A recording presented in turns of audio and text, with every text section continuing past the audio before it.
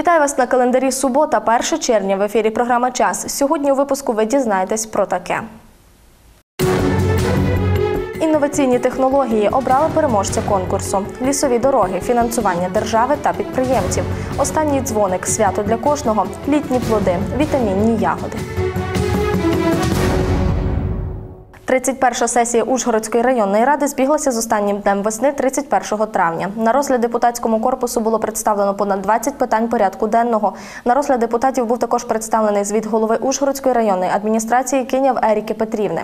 Вона у своєму виступі зазначила, що згідно діючого законодавства та у зв'язку із припиненням повноважень голови Закарпатської ОДА Москаля, я теж маю скласти свої повноваження голови районної адміністрації. Дякую всім депутатам за плідну роботу. За цей час ми встигли багато зробити і сподіваюся, ви ще багато зробите до закінчення своєї каденції. Прошу всіх вас і далі активно відстоювати інтереси району та намагатися по максимуму сприяти його розвитку.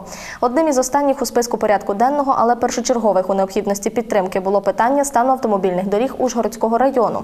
Тому депутатський корпус офіційно направив відповідне депутатське звернення до президента України Зеленського, прем'єр-міністра України Гройсмана, виконувача обов'язків голови Закарпатської обласної адміністрації Галасу та голові Ужгородської обласної ради Рівісу, у якому було представлено поточний стан доріг району.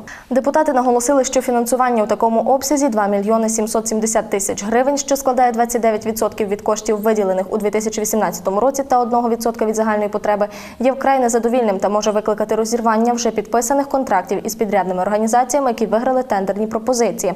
А це у свою чергу спричинить колапс. Тому районна рада просить вище зазначених осіб звернути свою увагу на цю проблемну ситуацію і переглянути розподіл коштів та збільшити фінансування з державного і обласного бюджетів на проведення ремонту доріг Ужгородського району. Міноборони виділить 45 мільйонів гривень на ремонт Мукачівського військового госпіталю. Про це 31 травня повідомив міністр оборони України Степан Полторак, перебуваючи з робочим візитом у Мукачівському військовому госпіталі. Я був у вас у 2015 році. Ви інтенсивно рухаєтеся вперед, але на моє переконання, вам треба ще допомогти, тому що самостійно за рахунок надання послуг побудувати сучасний медичний заклад, який був би конкурентоспроможний і який надав якісні та професійні послуги, важко.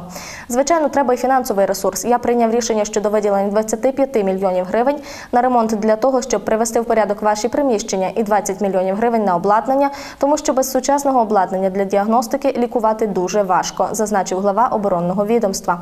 Варто додати, під час робочої поїздки на Закарпаття Степан Полторак відвідав поранених бійців, які проходять лікування у Мукачівському військовому госпіталі. Внаслідок ДТП у Тячеві автомобіль перетворився на металобрухт. Про автопригоду, яка сталася вчора ввечері близько 22.30, повідомив портал Тячів Ньюс. За попередньою інформацією, внаслідок аварії постраждала одна людина. Потерпілого доправили до Тячівської районної лікарні. Всі обставини автопригоди з'ясовують правоохоронці. Через автотрощу, яка сталася вчора, 31 травня, словацький тунель Браніско перекрили на 7 годин. За інформацією словацької поліції, водій мікроавтобусу української реєстрації здійснив зіткнення із вантажівкою. У автобусі на момент ДТП перебувало 10 людей, але ніхто із них серйозно не постраждав. Правоохоронці змушені були перекрити тунель Браніско, щоб відвантажити залізні панелі, які перевозив камійон. За попередньою інформацією, український водій виїхав на зустрічну смугу, де й зачепив вантажний автомобіль. Причиною пригоди поліція Словаччини вважає в тому водія, який Stones a Carmon. Ховав пістолет та наркотики. Як зазначають у поліції Закарпаття, пістолет та згорток із наркотичною речовиною вилучили 30 травня під час обшуку 24-річного мешканця Рахова. Обшук був санкціонований судом, адже чоловіка підозрюють у збуті наркотиків.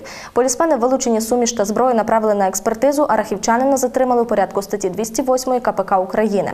За фактом виявленого правоохоронці відкрили два кримінальні провадження за статтями 263 та 307 Кримінального кодексу України. Йдеться про незаконне поводження із зброєю та незаконне незаконний збут наркотичних засобів, психотропних речовин або їх аналогів. Наразі у суді вирішується питання щодо обрання йому міри запобіжного заходу. Фінал конкурсу ініціативних ідей стартапу жну 2019 зібрав кращі студентські команди. Із понад 20 учасників до фіналу потрапили 7 команд. Молодь представила свої винаходи в медичній, екологічній, технологічній та інших галузях. Суворе журі обрали кращий проект. Мої колеги вже знають ім'я переможця, тож далі більше.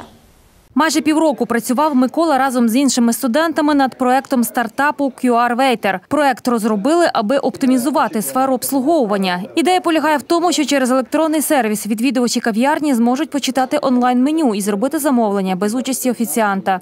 Система працює за допомогою QR-кодів. Тобто ви приходите в заклад, просто скануєте QR-код, у вас відкривається електронне меню в браузері, замовляєте страви.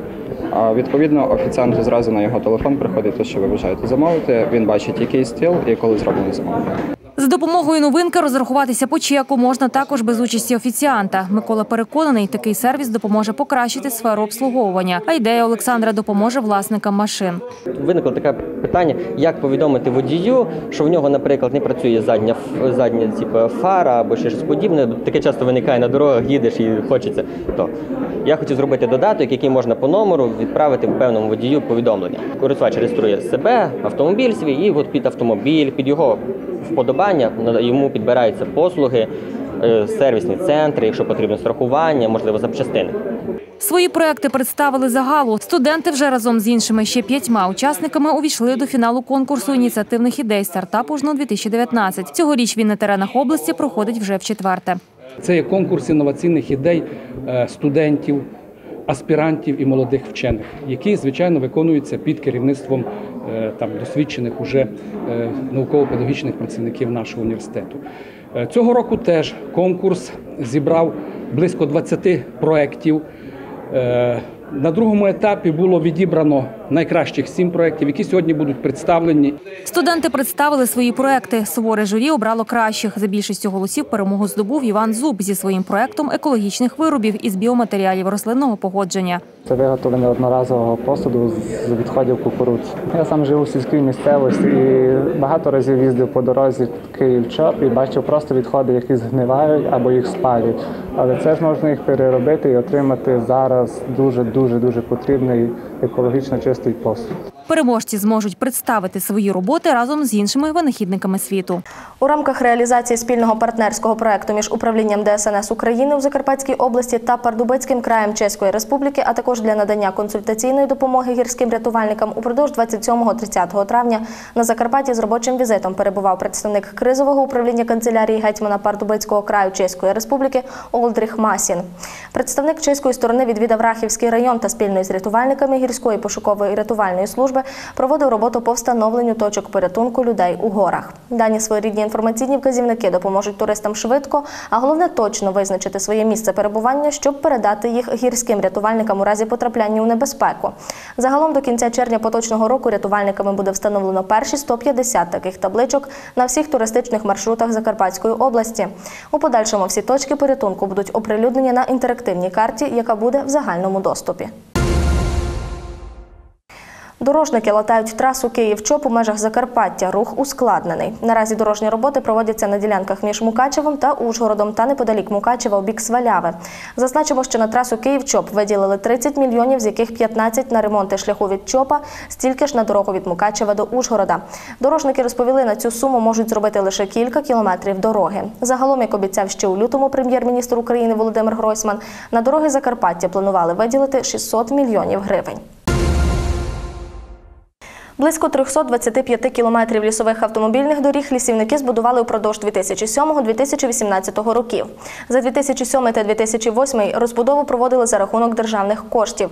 Вже з 2009-го роботи фінансували лісові підприємства. А от густота лісових доріг на Закарпатті складає 5 кілометрів на тисячу гектарів. Продовжить далі Тетяна Сенько. Ця дорога протяжністю майже 2,7 кілометри. Обабіч неї є розсадники жолодя, явора та ясена хвойних порід. Шлях збудував ще за часів радянського союзу місцевий колхоз. Після розпаду союзу і до наших часів дорога була в настільки жахливому стані, що навіть лісова техніка, яка везла місцевим дрова, не змогла проїхати. Тож лісівники взялися за її реконструкцію. Тепер проїхати може і легковик. Ми зробили освітлення траси дороги, прокопали канави і зробили підсипку піщаною, піщано-гравійною сумішю цієї дороги.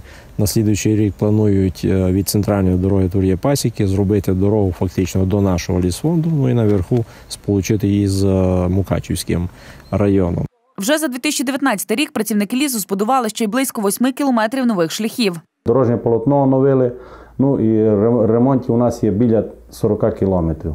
Ну, ну і це, якщо все порахувати у грошовому виразі, то воно досягає, напевно, десь ну, більше 5 мільйонів. Всього на балансі лісівників 943 кілометри лісових доріг. Щороку вони також проводять поточний ремонт наявної лісової мережі та водночас розбудовують і мости. У 2018 році е, нашими підприємствами відремонтовано 347 кілометрів лісових автомобільних доріг. Також здійснено поточний ремонт 590 погонних метрів мостів і 40 погонних метрів підпірних стінок. Лідерами з будівництва лісових доріг є Брустурянський та Рахівський лісгоспи. У поточному році лісівники планують збудувати 32 кілометри нових лісових автодоріг. Повні прилавки черешні обіцяють бути ще недовго. Продавці розповідають, ранню черешня майже закінчилась, а от пізню добряче попсував дощ. Тим часом поволі на прилавках червоніє і лісова суниця, хоча і її важко знайти. Скільки коштують вітамінні літні плоди, дізнавались мої колеги. Червона, соковита, а ще солодка, як мед. Цьогоріч черешня дуже смачна, принаймні переконує пан Валерій. Він щойно придбав кілограм спілої. Добра і файна. І ще й смачна. Пані Марія каже, цьогоріч черешня подарувала плоди дуже швидко. Перші на прилавках ринків з'явилися вже на початку травня. Лазово ліземо на верха 7-8 метрів і собираємо, вибираємо. Бо знаєте, гнилі оставляємо, а вибираємо по одній черешні. Уродила черешні до погоди немає. Дощ такий лопає слаб. Майже визбирали й другий черешневий врожай. На підході пізня черешня. Її очікують вже з першим днем червня. Наразі за літр продавці просять від 25 до 50 гривень. Вдень вторговують плоди ящиками. Сьогодні гарно, ставали добре. Ну, вже продала цілий ящик, то є такої крупної, а тут беруть трошки менше, бо ну, дивляться, то, що крупніше і чорніше і беруть. І то є, але другий сорт, то є Валерій Чкалов, а це Вінницька називається. І вона дрібніша цього року, а так завжди вона була більша. Але за те, що не було тепла, і тому вона така в нас ну, дрібна. Тим часом поволі на прилавках починає з'являтися суниця. Однак за півлітрову баночку лісової ягоди просять 100 гривень. Кажуть, ціна висока, адже цьогоріч суниця сонечко поки що не дочекалась. Тож, аби не збирати таку баночку, витрачають майже дві години. Немає слабо, дуже слабо. Дуже. Дужі падали, Дужі, погоди на неї не було, так то пропадало. А вже ближчими днями погода обіцяє підвищення температури, тож варто сподіватися на хороший врожай і інших фруктів та ягід. Довгі пишні сукні, смокінги, краватки та вальс. Весняний благодійний бал в Ужгороді стартував. Нагадаємо, четвертий рік поспіль благодійний бал проводять у будівлі Закарпатської ОДА. Його мета допомогти вихованцям Мільшанського будинку інтернату. Продаж їхніх робіт з аукціону став центральною частиною балу. Більше про події розкаже моя колега. Приємна музика, дзвін бокалів, чоловіки в елегантних костюмах у краватках. Поряд з чоловіками у вишуканих сукнях їх дами серця. Заграла скрипка.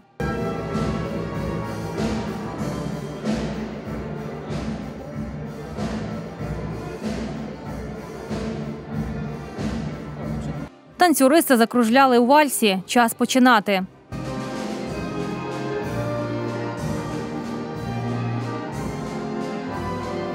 Весняний благодійний бал цьогоріч зібрав Бумонт області вже в четверте. Найбільше гості чекають не танців, а початку аукціону. Лотів більше трьох десятків. Всі вони дорогоцінні, адже зроблені руками дітей. Там були потім і картини художників, були і кераміка професійних е, майстрів, але найдорожчі пішли якраз е, дитячі вироби от цих вихованців школи дитячого будинку інтернату.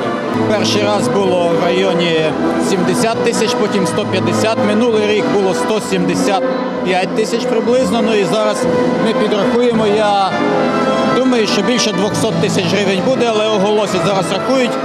Вироби з паперу, ниток, тканини. Першою з молотка пішла квітка з бісеру.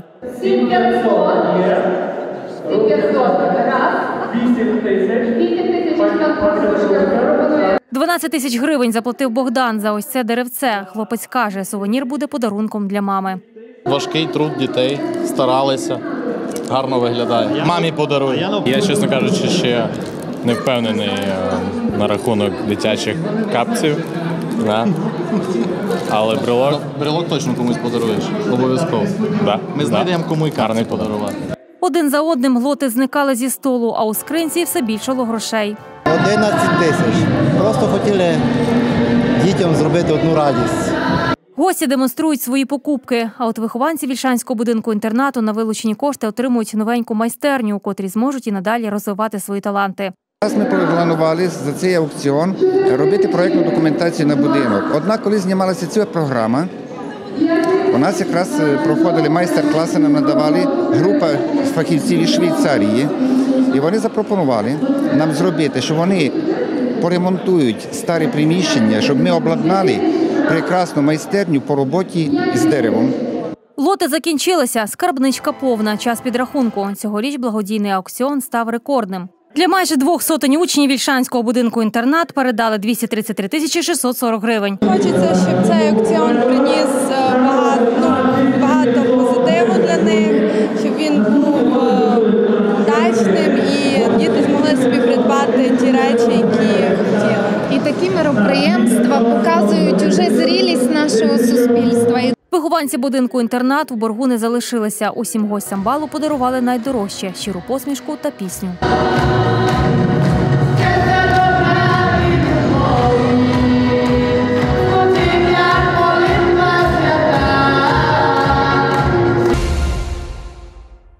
Продзвенів останній дзвоник і у Мукачівському дитбудинку інтернаті. І хоча молоді люди в закладі і живуть і навчаються, та свято останнього дзвоника відзначають традиційно із розмахом.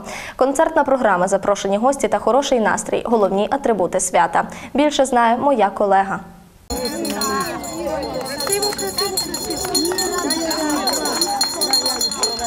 Всі родини, де є діти, і наша, в тому числі трудова сім'я, відмічає свято останнього дзвоника. Напередодні літніх канікул дозвольте всім побажати міцного здоров'я, любові, теплоти, ласки, добробуту. Урочисто відзначили свято останнього дзвоника, а відповідно і кінець навчального року в Мукачівському дитбудинку інтернаті. Свято останнього дзвоника, воно традиційне всієї держави. Воно зумовлює нас повернути себе у дитячі роки, коли ми перший раз йшли в перший клас, коли закінчували школу. Наша установа відноситься також до навчально-виховного процесу, і це свято у нас з кожним роком удосконалюється.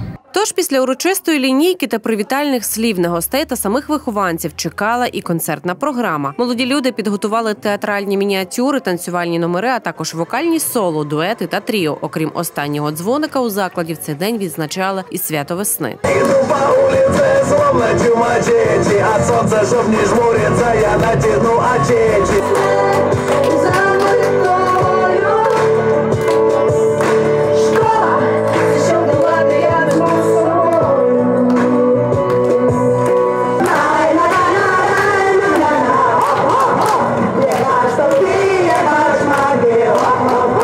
Для цих молодих людей цей заклад і будинок, і школа, каже Василь Маркулін. Основне наше покликання створити нашим дітям умови життя приблизно до домашніх.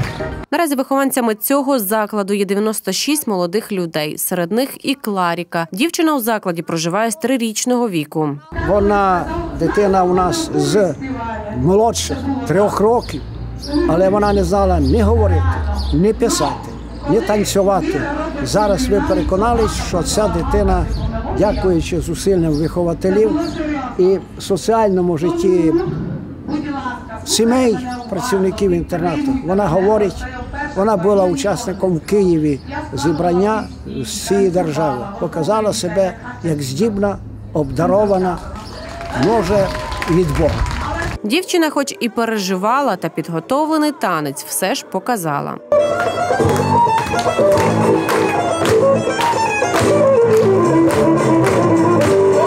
Попереду на вихованців закладу, як і всіх, чекають канікули, а з вересня новий навчальний рік та нові знання.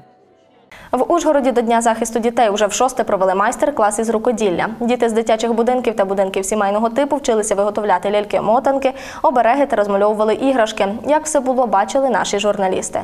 Іван разом з товаришем Михайлом виготовляють ляльку пшеничку. Справжній оберіг, зроблений власноруч, залишиться на згадку для одного юнака. Інший каже, це подарунок брату. Шити це, ну я думаю, легка робота, що нитка, шиєш та і весело шити. Я хочу зробити і на згадку собі і своїм дітям показати, як що я робив, коли був малий. Зі школи.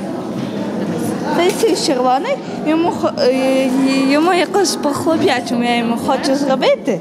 Він мені багато що робить. Наприклад, повчає, щось допомагає, коли я щось таке. То я йому хочу теж якось віддячити та йому якось е, відблагодарити того, що він мене повчав. Таку іграшку можна наповнювати будь-яким зерном та прикрашати найрізноманітнішими стрічками та декорувати матеріалами на свій смак. Лялька-пшеничка символізує благополуччя та достаток для сім'ї. Це, звичайно, не, е, не робиться обличчя, очі е, для того, щоб вона не притягувала негативну енергетику. Вона навпаки має приносити в дім тільки позитив і тепло. Ляльку з дерева та ниток виготовляє і Маринка. Подарую комусь. Ось нам треба взяти цю ниточку.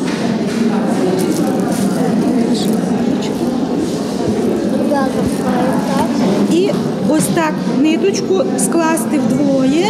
І ось тут зав'язати. Ось так вузликом гарно тут намотати і зав'язати.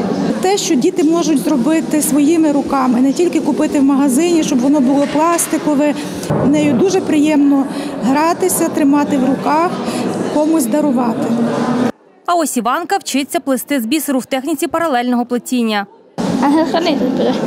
Майстер-клас рукоділля на Закарпатті організовують уже в шосте до Міжнародного дня захисту дітей. Тут вихованці дитячих будинків сімейного типу та прийомних сімей з різних районів. Загалом, за словами Світлани Якімеліної, у краї спостерігається тенденція до зменшення статусних дітей.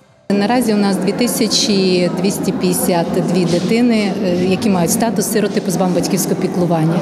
У нас нараховується 50 дитячих будинків сімейного типу та 49 прийомних сімей, де виховується 385 дітей. Це свято, ну скажу, що традиційно.